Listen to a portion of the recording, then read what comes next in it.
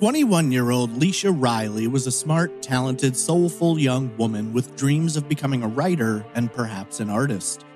A student at nearby Buffalo State College, Leichia lived at home with her parents in West Seneca, a town in Erie County, New York. She'd grown up there, had all of her memories there, and tragically, as fate would have it, she would mysteriously disappear from there as well. It was the evening of Wednesday, January 30th, 1985. Leichia headed out with a friend for a few drinks, some laughs, and maybe even a little dancing. Arriving at the Pierce Arrow, a popular night spot in town, the evening began without a hitch and the two friends were having a blast. A few hours later, after midnight, Leichia's friend headed home for the evening, leaving the 21 year old to find her own ride home. She has never been seen again. Multiple witnesses reported seeing Leichia walking out of the bar alongside another patron. He was no stranger, known to many in the establishment as an off duty New York State trooper who frequented the local club and bar scene. In the days and weeks following Leichia's disappearance, this man would deny knowing her, leaving with her, or having any knowledge of what might have become of her. Investigators would find themselves handcuffed by an absence of evidence so vacant they couldn't even prove that a crime had been committed. For more than 30 years, Leichia's father fought to keep her name in the public and her story alive. In desperation to retrieve his daughter, give her a proper burial, and see her killer charged and sentenced, he refused to give up the fight. In a letter to his daughter, Patrick Reilly promised to return her home and see justice done. Sadly, he passed away before the truth could be learned, and Leichia has never been located. Perhaps tonight, someone out there listening might possess the knowledge necessary to help fulfill a father's final promise. This is Trace Evidence, episode 208 The Disappearance of Leichia Reilly.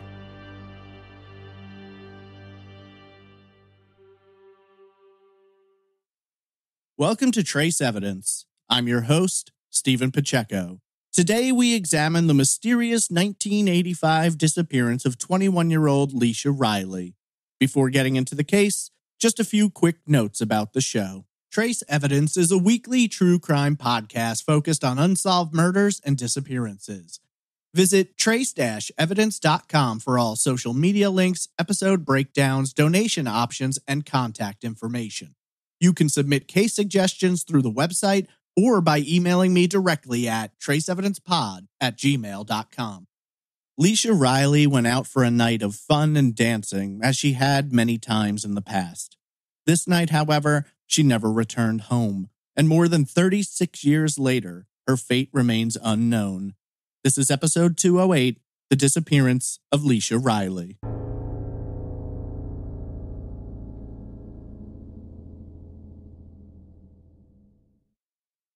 The sound of the crowd inside the popular restaurant was mostly contained within the four walls of the building, vibrating lowly off the fogged over panes of glass in each window.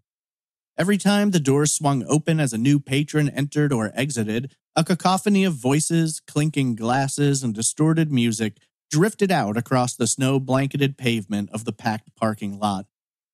As locals laughed, chatted, danced, and sang, icy winds rattled the windows, and kicked up sweeping clouds of snow from thickly packed drifts and banks created in the wake of patrolling snowplows. Around three in the morning, as the party like atmosphere of the night spot was beginning to die down, that door swung open and out stepped two sets of legs. 21 year old Leichia M. Reilly clung tightly to her long black coat as the chill snap of the early morning hours bit against her pale skin, flushed red from the frosty assault. Stepping out beside the woman was an older man, one known to a handful of people inside the bar, and possibly someone Leichia had encountered in the past. What exactly occurred after Leichia left the bar that night has never been determined. The 21 year old seemingly vanished from the face of the earth. No trace of her has ever been found, and even the slow buildup of snowflakes drifting from the night sky contributed to the mystery, smoothing out her light footsteps leaving behind a series of only haunting questions. Perhaps most pertinent of them all, what exactly did the man seen with Leichia that night know about her fate? That question remains at the heart of a young woman's disappearance and the unfulfilled promise of a grieving father. Leichia M. Reilly was born on Saturday, October 5th, 1963, in Erie County, New York, to parents Patrick and Suzanne. Leichia would go on to be one of three children born to the family, having both a brother and a sister. She would be raised in the town of West Seneca, a suburb of Buffalo situated in western New York, just five miles east of Lake Erie. At the time of Leichia's birth, West Seneca was in the midst of a large growth spurt, as the decade between 1960 and 1970 would see the town's population exploding by nearly 50%, from 33,000 to 49,000 residents. In her youth, Leichia was described by friends and family as a kind, sweet, and creative youngster who loved literature and art. She was intelligent, driven, and had a gregarious laugh, which her family explained often filled the home and delivered a sense of warmth and welcoming. Leichia's interest in the arts would go on to present themselves more strongly as she grew older. She started creating her own works, writing stories and poems while also testing her abilities with a paintbrush. Many would go on to note that Leichia not only had a way with words, but also on the canvas, where she managed to transform the dull white void into vivid landscapes and portraits. She also developed a love of dance and could frequently be found dancing to her favorite music and wanting others to join in with her fun. Outside of the arts, Leichia achieved high grades in school and was frequently noted as being intelligent, conscientious, and driven. Raised in a devout Catholic family, Leichia attended Sunday services each week and would go on to attend Queen of Heaven School, which describes its goal as educating children in a faith filled Catholic environment. Leichia was close with her family, and as she grew up, her relationships with her parents and siblings only grew stronger. In her teen years, Leichia attended Mount Mercy Academy, a private Roman Catholic high school located in Buffalo, just five miles from her family's Lee Cliff Lane home. Leichia graduated from Mount Mercy Academy in the spring of 1982 and would go on to matriculate at the SUNY Buffalo State College, just 15 miles from home. As she had done throughout her entire scholastic career, Leichia excelled at her studies and continued to write and create art. Many of her paintings and drawings were hung in the family home and continue to hang on the walls today. By that point in her life, Leichia was seriously considering becoming an author. Her childhood friend and neighbor, Joanna Derry Bernardo, described her friend to the Buffalo News, saying, quote, We grew up right across the street from each other. Leichia was a special person. I think about her all the time. Leichia was a very creative, very literate, and very funny person. She was a bright, sweet, spiritual person. End quote. By the end of 1984, Leichia was 21 years old and had been attending Buffalo State for two and a half years. She continued to live with her parents in their Lee Cliff Lane home, worked a part time job at a local pizza restaurant, and was putting the pieces together toward her future. As her time at college was more than halfway over, the bright young woman was giving serious consideration to where she wanted to go with her life. She dreamed of someday being published, of writing a series of books and making her living as an artist. Unfortunately, before she could even finish school, she would mysteriously vanish following an evening out at a popular local night spot. The evening of Wednesday, January 30th, 1985, was another bitterly cold night in western New York State. With temperatures peaking at just 28 degrees, each gust of wind whipped down the quiet streets of West Seneca like icy needles crashing into bundled up locals as they made their way home through the frigid night. At approximately 6 p.m., Leichia said goodbye to her parents and headed off for the home of a friend who was throwing a party. After spending an unspecified time at the party, Leichia left with a friend, and the two drove over to a West Seneca bar. Located at 3036 Seneca Street, near the intersection of Center Road, the Pierce Arrow was a popular gathering place for younger locals and was regarded by many as being the center of the singles scene in West Seneca. Spread out over two floors, the Pierce Arrow offered dining, music, drinks, and consistently large crowds. At the time, the club boasted that it was the favored hangout for many members of the NFL's Buffalo Bills. That night, nearly 200 people were present at the Pierce Arrow, and many of them knew Leichia, either directly through friendship or casually, recognizing her by appearance. Multiple witnesses would later tell investigators that they had seen Leichia arrive and noted that she and her female friend had quickly hit the dance floor, laughing and having a good time. Others stated that Leichia had danced with a few different people that night, in addition to her friend, but there didn't appear to be any lingering connections as Leichia wasn't witnessed hanging out particularly long with any guy. According to official reports, after hanging out at the bar for a few hours, sometime around midnight, Leichia's friend was getting tired and wanted to go home. She approached the 21 year old and asked if she was ready to go, but Leichia wanted to hang out for a little while longer. Her friend was hesitant to leave. She had been Leichia's ride that night, but according to this friend, Leichia told her not to worry about it. She'd find a ride home with someone else. There were plenty of people there that she knew. Tragically, this decision has been noted as being the turning point for Leichia, and ultimately, many believe she simply asked the wrong person for a ride that night, resulting in her disappearance. Several hours later, two and a half miles away at Leichia's family home, her parents awoke on Thursday morning and quickly discovered that their daughter had never come home. This was considered highly unusual for her parents, who noted that Leichia wasn't the type to stay out all night without so much as a call. Her father, Patrick, later explained to the Buffalo News, saying, quote, In her whole life, Leichia had never been away from our home for any extended period without letting us know where she was. I knew immediately that next morning that something was wrong. End quote.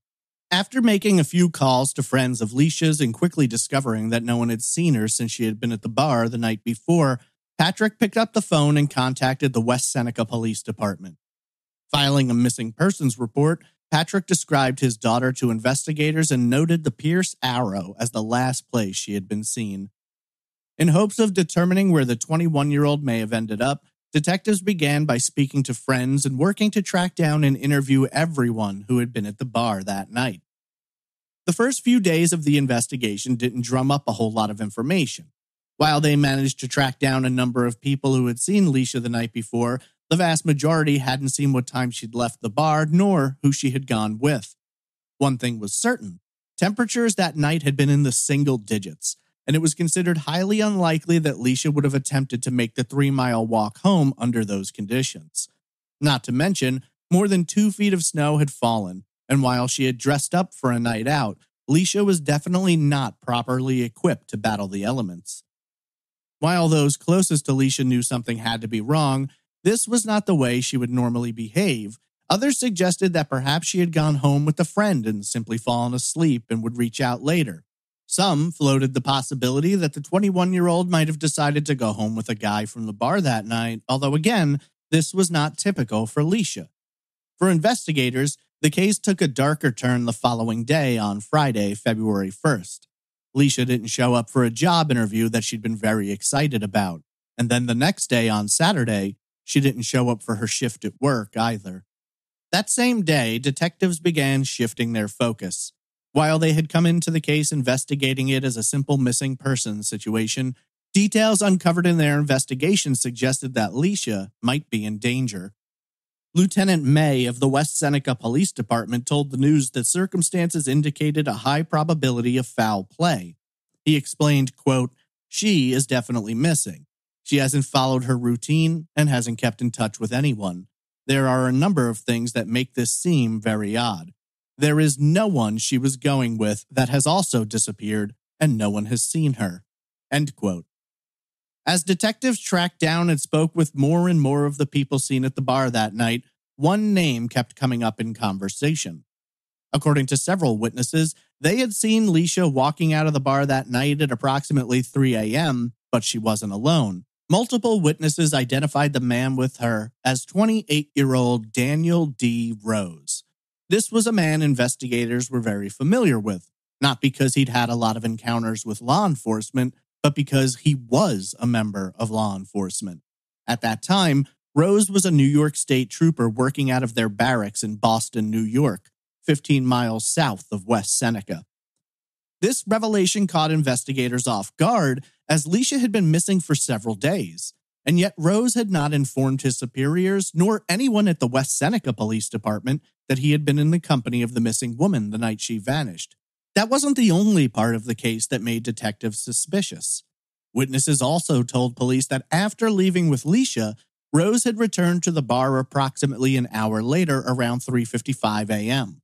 Upon arriving back at the Pierce Arrow, two witnesses who were friends of Rose said they watched him walk inside and proceed straight to the bathroom before he rejoined them.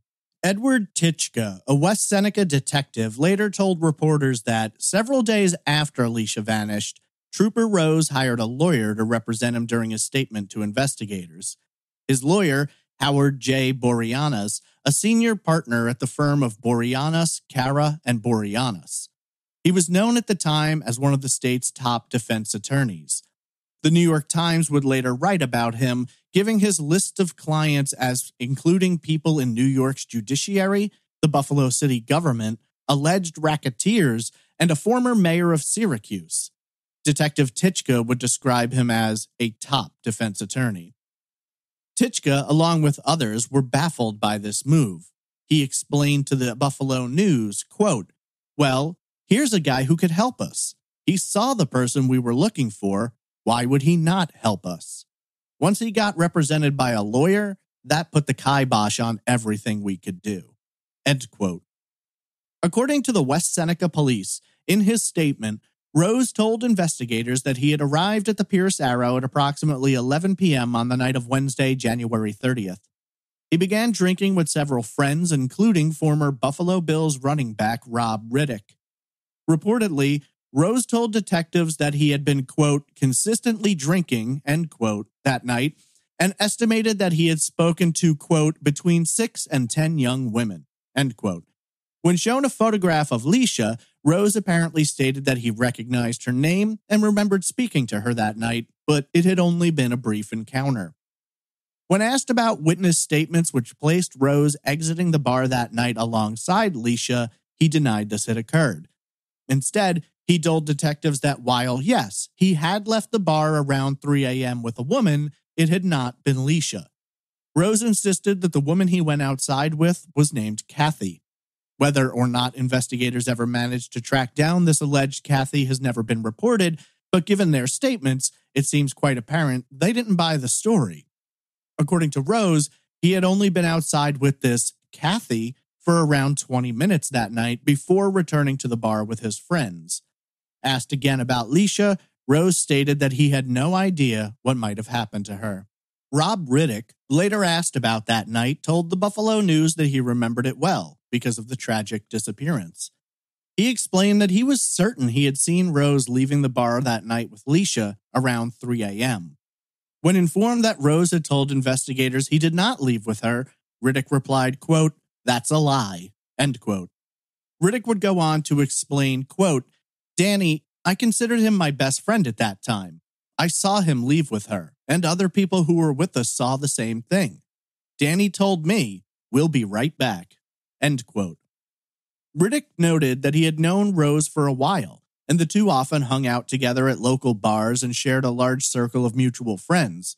Riddick stated that he understood 100% why investigators had focused in on Rose, noting that Rose never told him what happened that night, nor did he ever bring it up. In addition to Riddick, investigators also spoke to another friend of Rose's who was present that night. Paul Schwartzmeyer told detectives that he actually stayed over at Rose's apartment that night, located six miles southwest of the bar in nearby Lackawanna. According to Schwartzmeyer, he and Rose left the bar at approximately 4 a.m., just a few minutes after Rose had returned from being gone for nearly an hour. Schwartzmeyer went on to say that after arriving at Rose's apartment, the state trooper told him that he was going to, quote, some girl's house, end quote. Schwartzmeyer went to bed, and when he awoke the next morning around 10 a.m., he found Rose was back in the apartment. When he asked him what had happened the night before, Rose reportedly replied that the girl he'd planned to visit hadn't been home. In addition to this, Schwartzmeyer noted that when he asked Rose about Leichia, Rose told him that he hadn't left the bar with her and instead said the woman he'd left with was a blonde. Though there were gaps in Rose's story and several details which directly contradicted those of other witnesses, investigators didn't believe they had enough evidence to label him as a suspect. Instead, he was taken off road duty pending further investigation. Asked about Rose, Erie County District Attorney Richard J. Arcara refused to discuss the trooper, telling the news, quote, Right now, our main concern is to locate the woman, end quote. Detectives would spend the next several months gathering information and interviewing additional witnesses in their attempts to locate the missing 21 year old. Multiple searches were launched, and investigators focused in on rural areas, bodies of water, and any place they believed the body could have been concealed. While Rose was unwilling to give any additional information about the night in question, he also didn't wish to discuss the rest of the day either. According to investigators, on Thursday, January 31st, Rose had called out sick to his trooper barracks. When asked what he had done that day, where he had gone, and who he had spent time with, Rose refused to answer. Unfortunately, investigators were left to watch Rose walking out of the police station without being able to do anything about it. In July, some six months after Leichia's disappearance, detectives had failed to uncover any physical evidence as to what might have happened to her. Ten investigators, including two detectives with the New York State Police, had worked countless hours but still had not managed to produce any solid information about the missing woman. More than 200 witnesses were interviewed, and many of them reported having seen Leichia leaving the bar that night in the company of Daniel Rose. Unfortunately, this didn't put them in a position to force him to answer questions, and with his lawyer retained, he hadn't expressed any interest in cooperating with the investigation. In fact, he had told them he was done. Given that half a year had passed without so much as a peep from Leichia, detectives believed she had been the victim of a homicide, Captain Leroy Tudor of the West Seneca Police explained to reporters, saying, quote, We have nothing in the way of physical evidence which pinpoints a death, but her complete disappearance? People don't disappear from the face of the earth without something occurring. End quote. Combined efforts from both police agencies and multiple searches utilizing helicopters, tracking dogs, and cadaver dogs failed to turn up anything. Since detectives didn't have any information to work with in terms of where Leichia may have been taken after she left the bar, many of their searches focused in on areas close to the bar itself. Lieutenant Michael Wright, Director of Public Information for the State Police, informed the news that Daniel Rose had been relieved of duty and was no longer a trooper. Asked why he had been terminated and whether or not it had anything to do with Leichia's disappearance, Wright declined to comment any further. Later statements issued by the state police would only vaguely note that Rose's dismissal had come as the result of job performance issues. Rose had worked as a trooper for five years before being let go. Acknowledging how frustrating and difficult it was for the family, investigators pleaded with the public to come forward with whatever information they might possess. Without something more concrete, they didn't even have the ability to officially classify the case as a homicide investigation. Detective Raymond Slade told the news that while they lacked evidence, he fully believed Leichia had been killed the night she disappeared, and her killer managed to hide her body in a location that they'd yet to uncover. When Captain Tudor was asked if he believed it was possible she could still be alive, he simply replied, quote, My gut feeling is that she is not. My prayer is that she is. End quote. For the next six months, investigators lingered in the same uncertain space. While they had multiple witnesses who confirmed seeing Leichia leave the bar with Rose that night, legally, there was very little they could do unless physical evidence turned up, including Leichia's body. They would spend the rest of the year searching and investigating while Leichia's family struggled with all of the painful, grief stricken firsts that the families of the lost must face. October marked what would have been Leichia's 22nd birthday.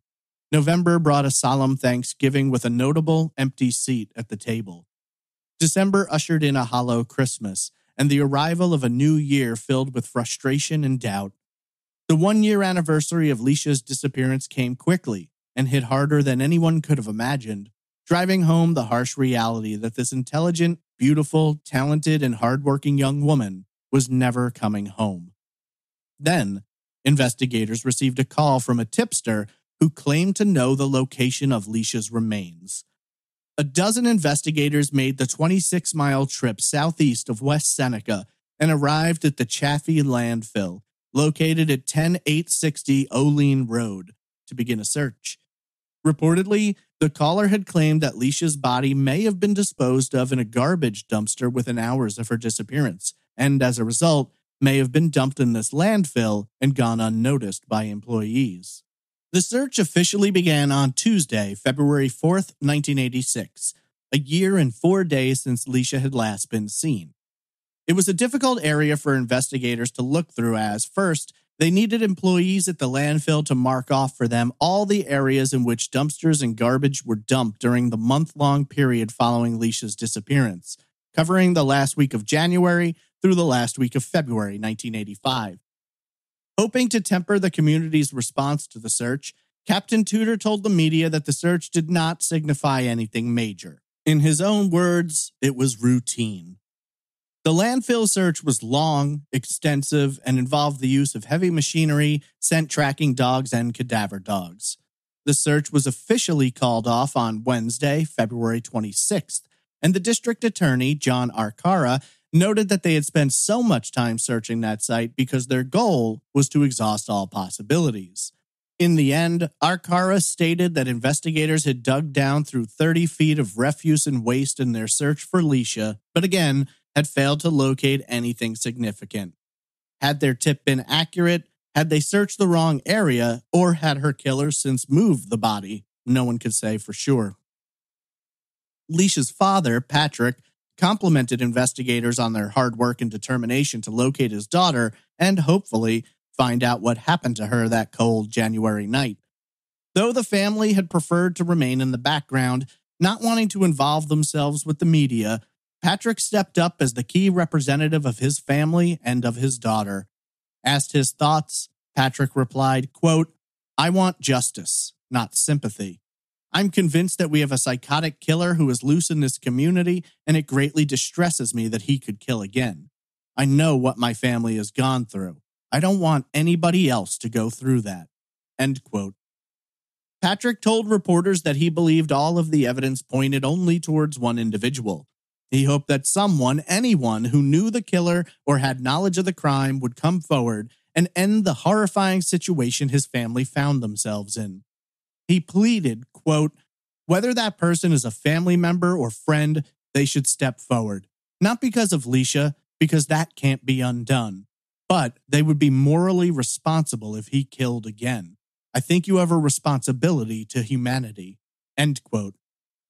Patrick went on to say that his family had been incapable of enjoying anything since Leichia disappeared. He explained, quote, Intellectually, we know that Leichia has been killed, but emotionally, it's difficult to accept. Imagine having an incapacity for joy. That's what we have. In Leichia's case, we've all been robbed of her potential. In my biased, subjective judgment, she was a special person, a very forgiving soul. End quote. The next month, in March, District Attorney Arcara announced authorities would be offering a $10,000 reward for information leading to the discovery of the missing woman or the arrest of her suspected killer. Arcara announced that the reward was being offered, quote, to secure the support, cooperation, and meaningful assistance of the general public in the discovery of the whereabouts of Leichia Reilly or the arrest of any individual responsible for any crime relative to her disappearance. End quote. Unfortunately, this reward offer didn't unleash a deluge of tips, nor did it seem to encourage anyone who might have had information to reach out. At that time, Leichia's case fell somewhat into limbo. The investigation continued, but without something substantial, there was little police could do to advance it. Soon, Leichia's case faded from the headlines, and days turned to weeks, weeks to months, and months to years. On January 31st, 1989, four years since Leichia vanished, there hadn't been any updates regarding the case, and in hopes of keeping the story alive, Patrick Reilly sat down for an interview with the Buffalo News, as did several investigators assigned to the case. Patrick told reporters that while it was still painful to talk about his daughter, he found it was even more painful to not talk about her, as though she had never existed. While Patrick acknowledged that finding Leichia's body wouldn't bring her back, he did note, quote, We suffer daily, and if we could find her body and prosecute, we would suffer less. Finding her would make a terrible situation less terrible. Time does not heal all wounds, not when there's no finality. I am pleading with someone to come forward. Even terrorists allow their victims' families to give them a proper burial. It's important to us that we give her a proper burial, that we give her a church service. End quote.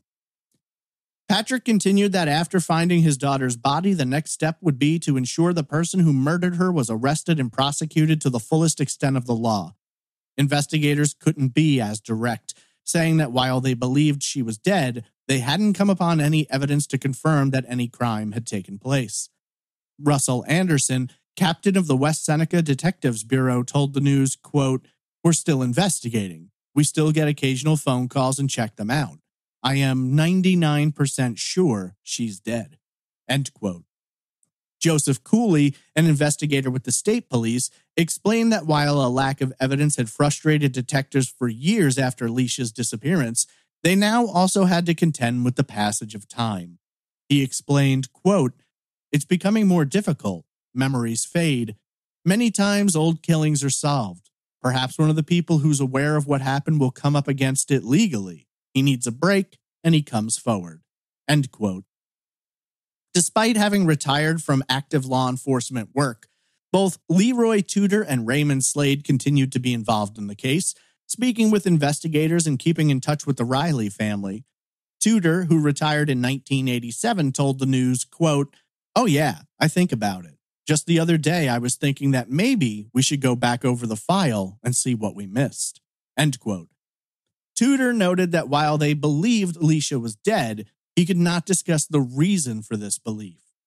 Raymond Slade said that he maintained contact with Joseph Cooley on the case and continued to give his input on the investigation. Having retired a year earlier in 1988, Slade acknowledged his frustration with the case, saying, quote, I still ask myself, where did he put her? I'm really unhappy about it considering the amount of effort that was put into it. Joe Cooley and I didn't take a day off from the 1st of February to the 1st of May in 1985. We just kept plugging away, but we never got anywhere. End quote. According to the former investigators, the killer's best advantage wasn't his cunning, his planning, or his execution of the crime. It could be all chalked up to little more than dumb luck, as no witnesses saw anything after Leichia left the bar, it was as if she vanished into nothing as soon as she stepped outside.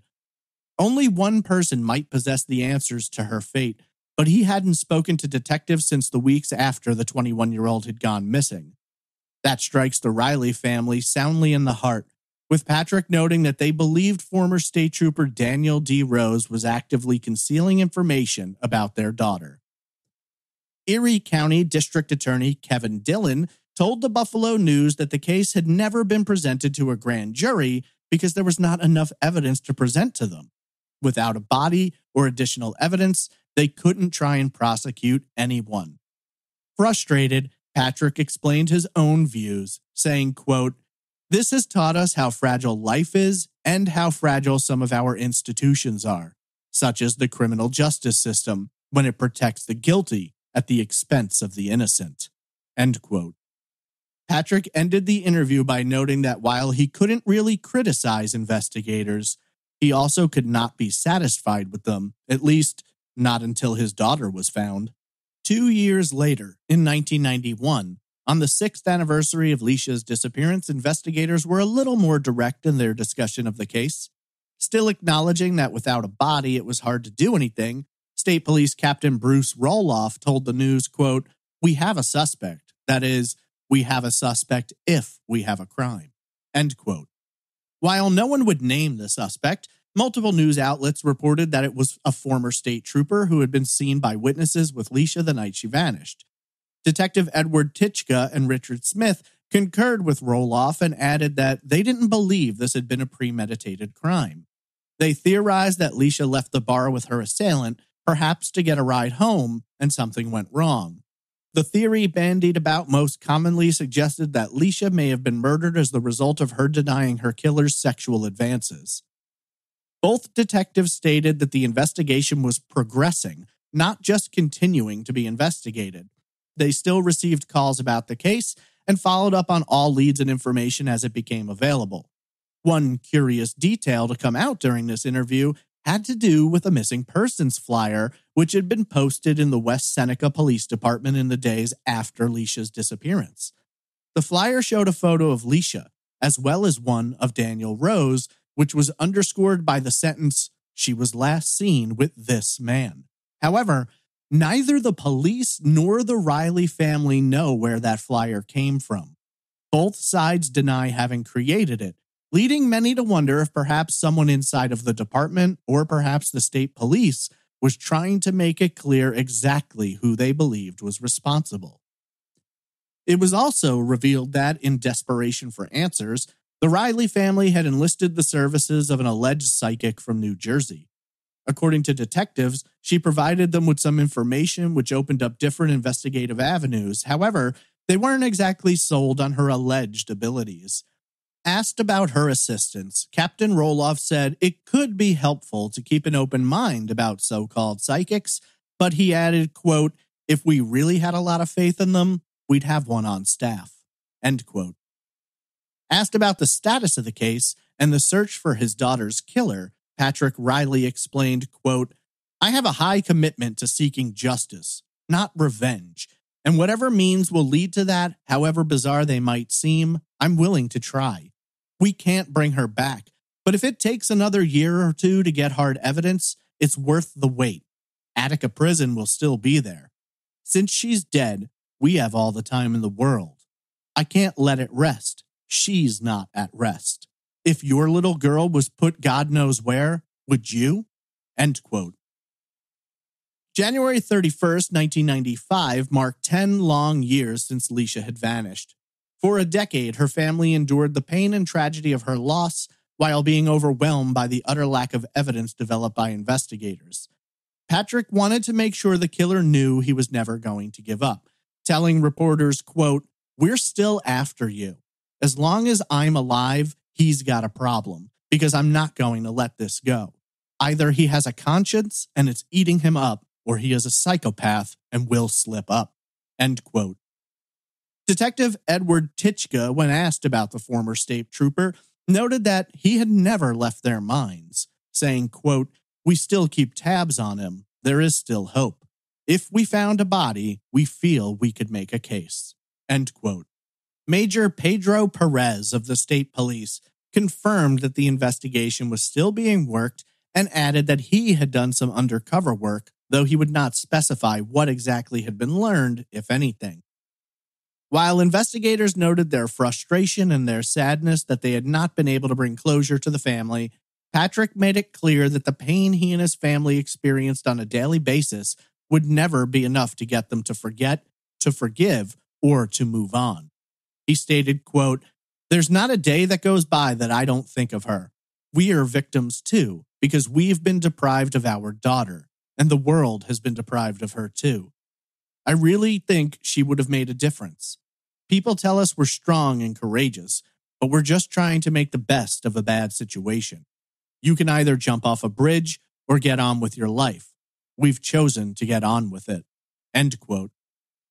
Unfortunately, the rest of the 90s would pass without any new information, without any movement on the case, and without bringing anyone closer to finding Leichia or the person who was responsible for her disappearance and likely death.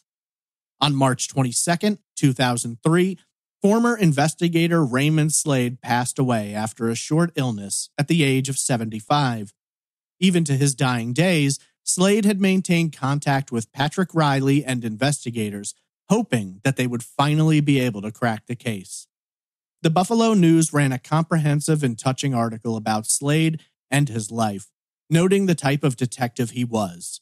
When asked once, how long should a detective continue investigating a homicide? Slade simply replied, quote, for as long as the victim's still dead. End quote. 13 years later, on July 13th, 2016, Leichia's father, Patrick Francis Reilly, passed away at the age of 78. For 31 long, hard years, Patrick fought to try and find justice for his daughter, to bring her home, and to give her a proper Catholic burial. Unfortunately, his light was extinguished, and he went to his grave never knowing the truth of what became of his beloved daughter. His family sought comfort, however, in Patrick's own belief that when he finally left this mortal life, he might see his daughter again in heaven. Former detective Edward Titchka was emotional about Patrick's passing, saying, quote, He was a real gentleman and really broken up about what happened. I never got to call him up and say, We finally made an arrest. He never got closure. I feel bad about that to this day. End quote. Four years later, January of 2020 marked 35 years since Leichia had vanished. This time also represents the last major discussion of this case, at least through the media. Lieutenant Kevin Baranowski, then working the investigation, was directly asked about Daniel Rose and whether or not he was a key suspect in the case. Baranowski replied, quote, I am just going to say what our department has stated right along about Daniel Rose. As far as we can determine, he was the last person seen with Leichia the night she disappeared. Nobody has ever heard from Leichia since she disappeared that night, but we cannot be 100% sure that she's deceased because we never found a body. End quote. According to Baranowski, the case was still active, and as recently as 2017, they had searched a local area after receiving a tip from a caller about where Leichia's body might be. Asked for further details, Baranowski declined, saying only, quote, I don't want the killer to know where we've looked, end quote. While Daniel Rose himself elected not to speak to reporters, his lawyer did answer some questions. While Rose has originally hired Howard J. Boreanaz, the defense attorney passed away in 1993. All these years later, Rose is represented by Boreanaz's son, Robert. Asked about his client's status, Robert Boreanaz stated, quote, He's an innocent man. He's never been charged because there's no evidence against him because he didn't do it. Every district attorney who has been in office over the past 35 years has passed on this case because there is no case. The evidence is not there. End quote. Went on to note his belief that none of the witnesses from the bar that night were reliable since they'd all been drinking. John J. Flynn, then Erie County District Attorney, told reporters that he had spoken to investigators about the case recently when they had come to his office.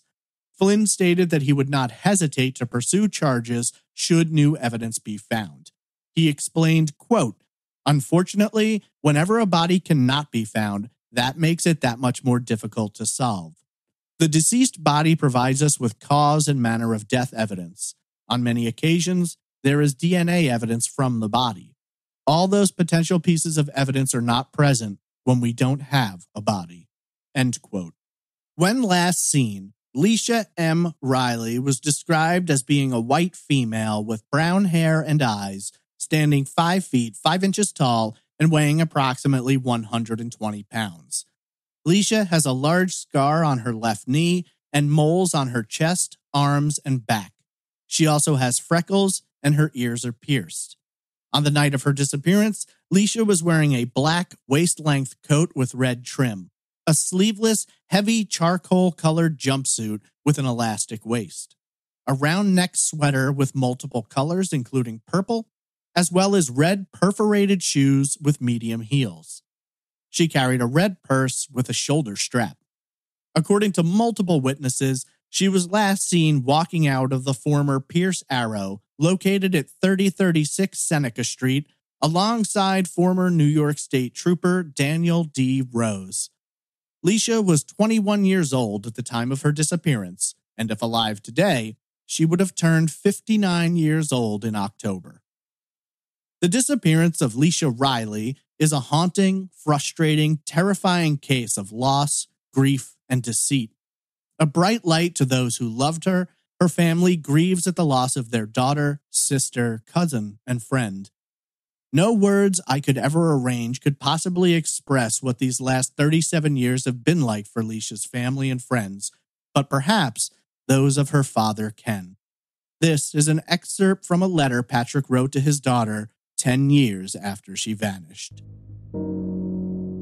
I smile when I think of you and delight in remembering your life and your wonderful contribution to our lives. If you had lived, you would have been even more appreciated a wife, a mother, a friend, an artist, a dancer, a continuing, capable, caring, and loving human being. Can any emotion or feeling compare to how much you are missed? Yes.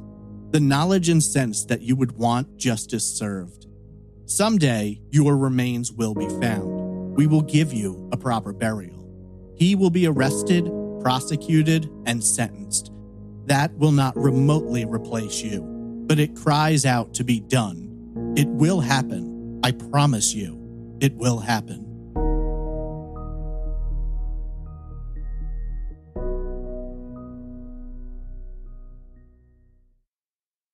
The disappearance of Leichia Reilly is a story of pain, loss, grief, deceit, and frustration. You have a disappearance, which no one actually believes is anything other than a murder, but they can't prove it. Essentially, this is not the search for a missing person despite its official classification. It's the search for the remains of a bright, talented, lovely young woman who mysteriously vanished after walking out of a bar with a man who later denied knowing her, leaving with her, or knowing anything about what might have happened to her. Regardless of yours, mine, or investigators' opinions, Daniel D. Rose has never been charged with a crime, has never been accused of this crime, and has never been officially listed as a suspect for this crime. Hell, they can't even fully prove that it is a crime. Some newspaper articles refer to him as a suspect, but none of the law enforcement officials working the case have ever gone that far. Perhaps they said something between the lines or made subtle references, but the fact is, they lack the evidence necessary to even say he is a suspect. Last week, we discussed the discovery of an unidentified woman found along an interstate in North Carolina. The victim of a homicide, she has never been identified and is known as both the Hillsborough Jane Doe and the New Hope Jane Doe. The disappearance of Leichia Reilly is essentially the opposite. While Hillsborough County investigators found themselves with a body and an obvious crime, both the West Seneca and New York State Police were left without a body and no evidence of a crime, but instead, a missing persons case where all of the circumstantial evidence suggests murder, but nothing can be proven. Can you imagine that frustration? To believe you know what happened, to think you're certain of Leichia's fate, and yet you can't find enough evidence to even question the person you consider most likely to be involved. For both investigators and the family, the past three and a half decades have been filled with dead ends, blind alleys, and an utter absence of evidence. Due to the lack of information, the inability to locate her remains, and the absence of people coming forward, it's difficult to know what exactly happened or how to approach the investigation. Essentially, Nothing can be done unless one of two things happens. Leichia's body is found, or someone confesses or provides solid evidence of a crime. As a result of what is known, there's really only one theory in this case that Leichia was accosted by someone outside of the bar that night. So we'll look at it from a broad perspective before slowly closing in. The Pierce Arrow was a popular bar and restaurant. It wasn't uncommon for the building to be absolutely flush with patrons looking for a few drinks, maybe some dancing, and overall just trying to have a good time. We know that Leichia arrived that night as the friend she came with told police about their travels, and multiple witnesses inside of the bar reported seeing Leichia and knowing her by sight or directly by being her friend or acquaintance. Around midnight, Leichia's friend decides to head home, but doesn't want to leave her behind. According to her, Leichia tells her not to worry about it, she'll find her own way home. Not a lot of information has ever been given about all of the people who were present that night who may have known Leichia or had any kind of a history with her. She was a smart woman who knew better than to just trust some random person to get her home that night, so most people believe if indeed she did approach someone or ask for a ride, she'd have made sure it was someone she knew she could trust or believed she could trust. Maybe it just makes sense why she might have asked an off duty state trooper who was there with his friends. She might have thought to herself, how much safer of a ride home can you get than one from a cop? According to multiple witnesses, including two friends of Daniel Rose who were with him that night, he walked out of the Pierce Arrow with Leichia sometime between 2:55 and 3 a.m. No one knows what happened after that door closed. Did they walk over to Rose's car, hop inside and drive off in an unknown direction, at which time something goes wrong? Did Leichia get offended or feel uncomfortable about Rose and change her mind, walking off on her own or perhaps getting out of the car when he came to a stop somewhere? This is the key problem with this case. Seeing Leichia leaving with Rose doesn't provide evidence that he did anything to her. Since no one saw anything beyond that, Rose has the ability to say, Leichia ran off, she got in someone else's car, anything to show he was not with her, because without witnesses or evidence, there's nothing to say that he was. The primary theory, which has been presented through the media and the family, has always been that after leaving the club that night, Leichia may have been killed when her assailant made unwanted sexual advances and she tried to fight him off. Regardless of who was responsible, it seems the smart money would indicate that the attack and murder did not occur right there in the parking lot, where anyone could have walked out and seen what was happening. More than likely, Leichia would have gotten into her assailant's car, and after leaving the parking lot, the advances were made. Let's face it, if this was some vicious creep looking to assault Leichia sexually or otherwise, he's probably going to drive her to a more isolated spot. With it being around 3 in the morning on a random Thursday, it isn't hard to imagine there may have been a lot of places where such a crime could have taken place. One thing investigators have gone into detail about, which continues to confuse them, is the manner in which the victim may have been killed and exactly how, when, and where her body was disposed of. They noted that there were two feet of snow on the ground. The temperature that night dropped down to just two degrees, and even the nearby Lake Erie was frozen over. According to historical records, Lake Erie is the most shallow of all of the Great Lakes and as a result freezes more than the rest. However, on average, the lake will see a maximum ice coverage of 80%. The only three times in recorded history that Lake Erie completely froze over occurred in 1978, 1979, and 1996. This means that while much of the lake may have been iced over, the night Leichia vanished, not all of it was frozen. This could make it possible for someone to have taken Leichia's body and gotten it into the lake. Perhaps they would have walked along the thicker areas of the ice and disposed of her body where the ice became fragile, and assuming she was weighed down, she could have sunk into the lake. I think it's worth noting that Lake Erie is 241 miles east to west and 57 miles north to south. The average depth of the lake is just 62 feet. However, at its deepest, it reaches down to 210.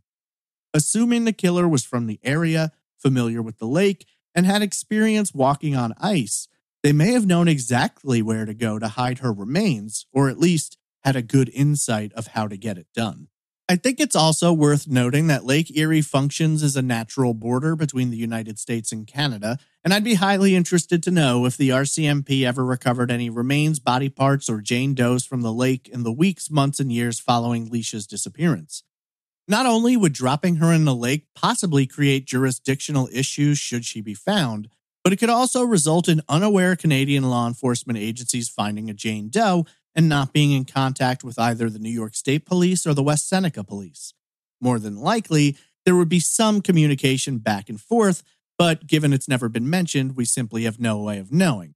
Also, as a side note, I just think it's interesting that I've looked at several cases in which police officers have been involved in a crime, and oftentimes they'll try and utilize things like jurisdictional confusion to get away with it. Less than four miles west of the Pierce Arrow lies the shoreline of Lake Erie, which in total stretches on for more than 800 miles.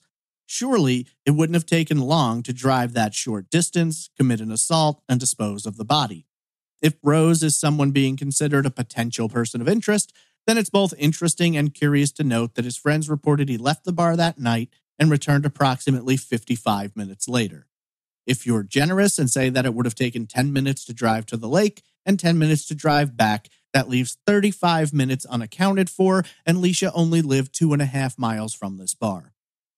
I might also add that at the time, Rose was allegedly living in an apartment on Beach Street in nearby Lackawanna. This location is just over one mile east of Lake Erie and less than 1,200 feet from another waterway called Smoke Creek.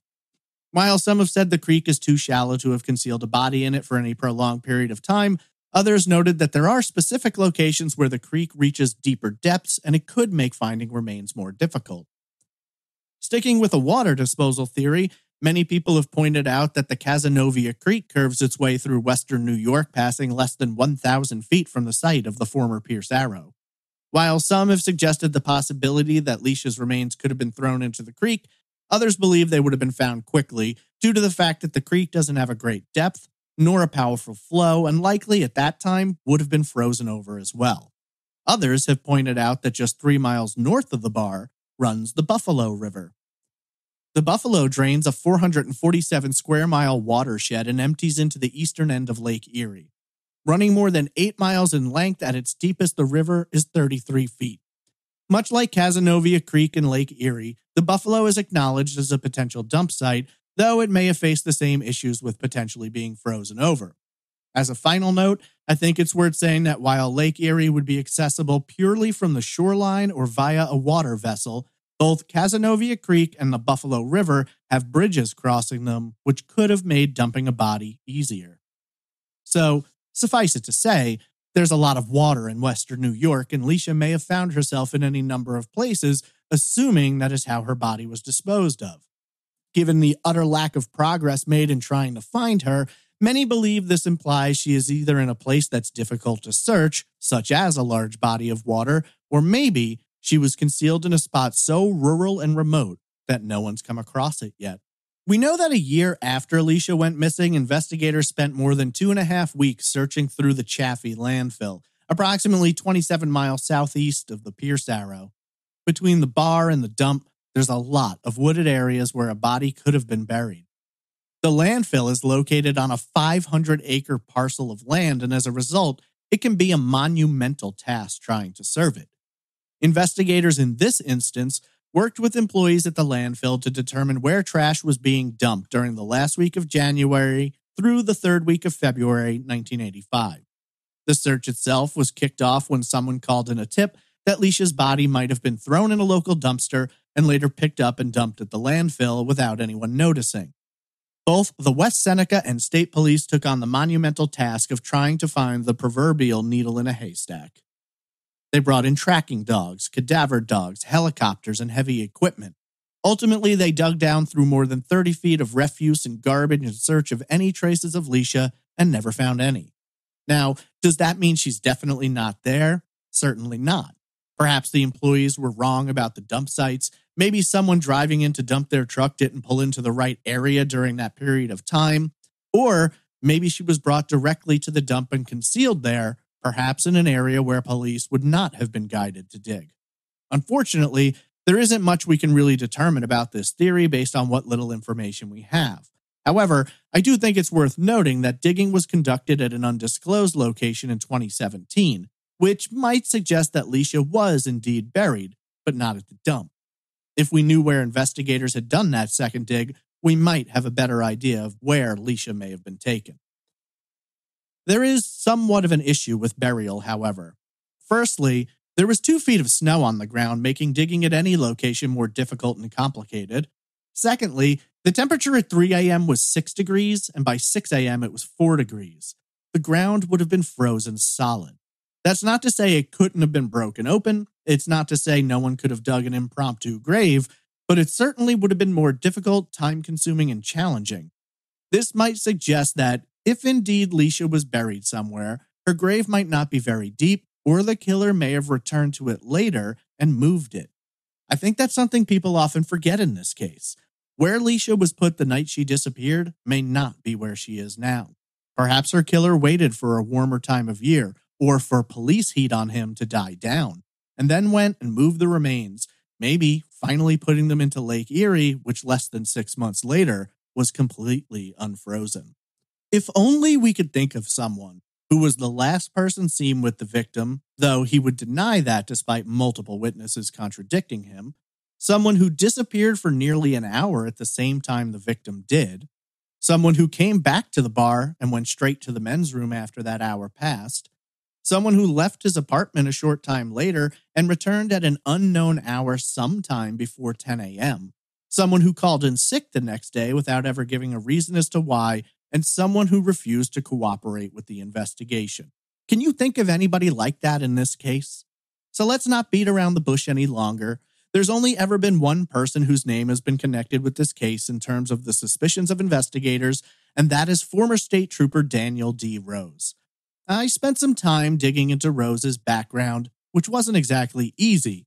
There were some obvious attempts made to remove him from multiple popular background checking services that I often use. However, you can't remove someone from court records, and there are a slew of newspaper articles dating back to the early 1980s which discuss Daniel Rose's time with the state police, both the good and the bad. Ten weeks after Leichia's disappearance, Rose was terminated from the state police. Neither the police nor Rose or his lawyer have ever given the reasons why this happened. While Rose's lawyer stated that it had absolutely nothing to do with Leichia's case the state police would only say it came as a result of job performance issues. A writer for the Niagara Falls Reporter, however, wrote in 2006 that he had heard from law enforcement sources that Rose had previously had issues with both violence towards suspects and the vaguely described issues with women.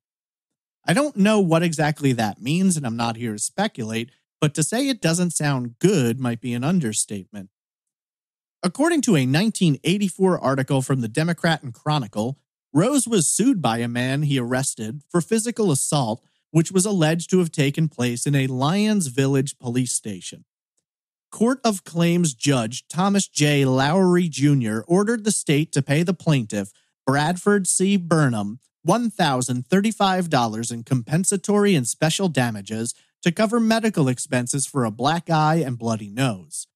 While criminal proceedings against Officer Rose resulted in an acquittal, Lowry wrote in his five page decision that, quote, sufficient circumstantial evidence was introduced for the court to infer that an unjustifiable assault did in fact take place. End quote. Burnham, 19 at the time, had been arrested by Rose after creating a disturbance at a Lyons area bar known as Tom Jones. Early on the morning of March 3, 1982, Rose arrested Burnham, at which time he was charged with harassment and resisting arrest. These charges were later dismissed. During the criminal trial, two police officers testified that Rose took Burnham into a room at the police station and closed the door, telling the officers to disregard any noises they heard coming from the room. Moments later, both officers heard Burnham crying out, What are you doing this to me for? I didn't do anything. The officers quickly opened the door and stated they found Burnham lying on the floor with a bloody nose and that Trooper Rose was standing over him with one hand in the air. Rose testified that he shoved Burnham towards a chair when Burnham attempted to escape the room, resulting in him receiving his injuries. Despite the jury rendering a verdict of not guilty in this case, the state police still suspended Rose for three months following this incident. Outside of this, there have been a couple of different charges Rose has faced in the years since he was dismissed from the state police. There have been two charges of driving while intoxicated in Whitfield and Corning towns. There were also mentions of charges of criminal mischief, although my own search through court records couldn't find anything alleging this crime. Does any of this mean that Daniel Rose is therefore a vicious and brutal killer who stole away the life of a talented and bright 21 year old woman? No. As has always been the case, there is sadly zero solid evidence of Rose's involvement in any crime related to Leichia. That being said, there's still a lot of unanswered questions. Most people would take the angle that if you hadn't done anything wrong, then you've got nothing to hide.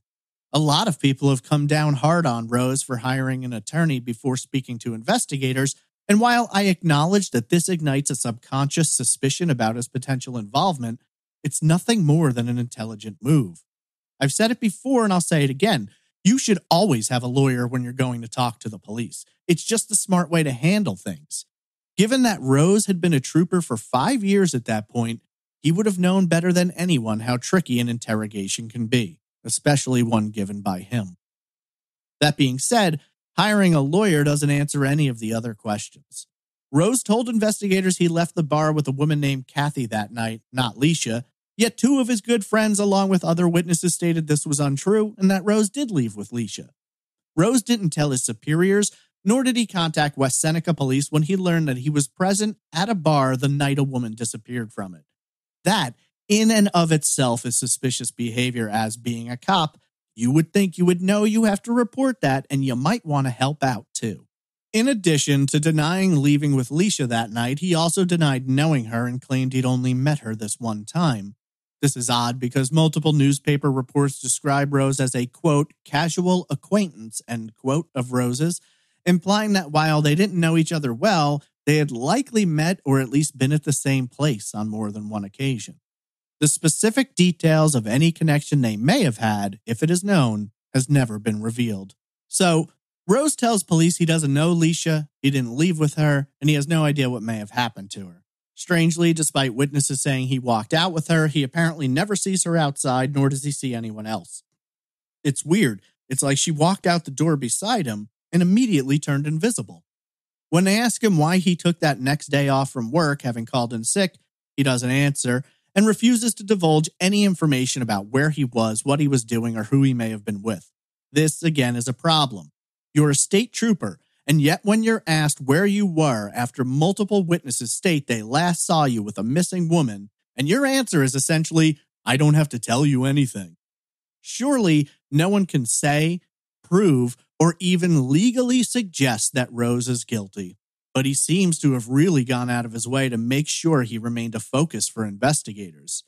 If you weren't involved, then why not just tell everything you know?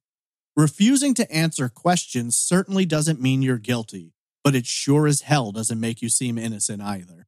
Given his cold, callous, and disinterested participation in this investigation into Leichia's disappearance, you kind of have to ask yourself why exactly did Daniel Rose become a state trooper in the first place? It doesn't sound like he was all that interested in helping anyone other than himself. So, what do you believe happened here? Did Leichia walk out of that door and into the vehicle of her would be killer? Did someone manage to trick her into thinking they would be a safe ride home? Does Daniel Rose know more about the circumstances of Leichia's disappearance than he's chosen to share? Patrick Reilly went to his grave never knowing what became of his daughter, and now, six years later, her killer remains free to live whatever life he chooses, while a father's promise goes unfulfilled. And that's where you come in because someone out there knows the truth. And all it will take is one call, one email, one anonymous tip to bring Leichia home where she might receive a proper Catholic funeral and be laid beside her father. Sadly, without new information, the discovery of Leichia's remains, or a confession or vital tip, the disappearance of Leichia M. Reilly will remain open, unsolved, and growing cold.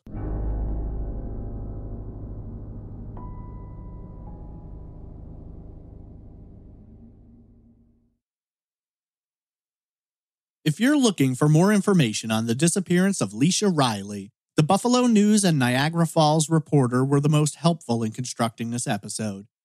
Leichia is listed on the Doe Network as 300 DFNY. She's also listed in NamUs as MP2885, and that site includes a report that 18 Jane Does have been excluded as being Leichia. The New York State Police have also created a Facebook page for her which you can find simply by searching for Leichia Reilly. If you have any information about the disappearance of Leichia M. Reilly, please contact the West Seneca Police Department at 716 674 2280.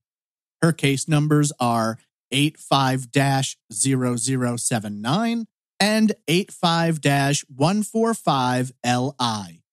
You can also call Crime Stoppers Buffalo at 716 867 6161 or submit a tip on their website at crimestoppersbuffalo.com. What do you believe happened? Tweet me at TraceEvPod, email me at traceevidencepod at gmail.com, or comment in the Facebook group. At this time, I'd like to take a moment to thank our very amazing Patreon producers. Thank you to Alicia Townsend, Amy Guthrie, Andrew Guarino, Anne Bertram, Brittany Bivens, Christine Greco, Denise Dingsdale, Donna Buttram, Diane Dyson, Eamon Brady, Eloanne Meyer, Fabulous TT, Greg, Guillermo Pinto, Haley Christie, James, Jennifer Winkler, Jill Sense, Joni Berkowitz, Julie Mangano, Kara Moreland, Lars Jensen Fengel, Leslie B., Marla Wright, Melissa Breckeisen, Nick Mohar Schurz, Quinn McBreen, Sarah Lyons, Susie the Cutie, Travis Skepko, Stacy Finnegan, Stephanie Joyner, Stephanie Eve, Tiffany Nelson, Tom Archer, and Tom Radford. Thank you so much for your amazing support. Without you, this show would not be possible. If you're interested in learning more about this case or other cases featured on the show, please visit trace evidence.com.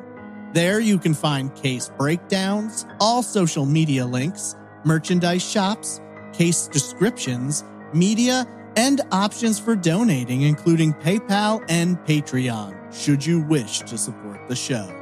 This concludes our coverage of the disappearance of Leichia M. Reilly. I really believe this case is solvable and someone out there has the answers. Hopefully, soon, they'll find the courage to come forward. As a final note on today's episode, I'll be taking next week off to celebrate the holiday. So I want to wish a very happy Thanksgiving to all who celebrate, and I'll see you with a new unsolved case in two weeks.